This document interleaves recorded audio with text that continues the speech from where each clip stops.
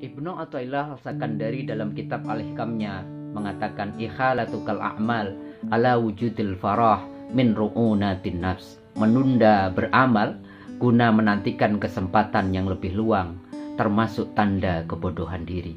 Salah satu nikmat yang paling berharga adalah waktu luang. Karena itu sangatlah tidak cerdas orang yang selalu menjadikan waktu luang sebagai alasan menunda-nunda beramal soleh atau pekerjaan yang mestinya segera dikerjakan.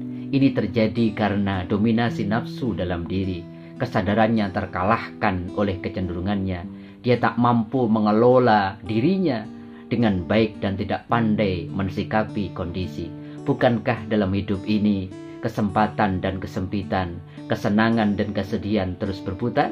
Dan bukankah pada setiap kondisi selalu diiringi dengan ujian? Jangan malas, bila tidak ingin tergilas.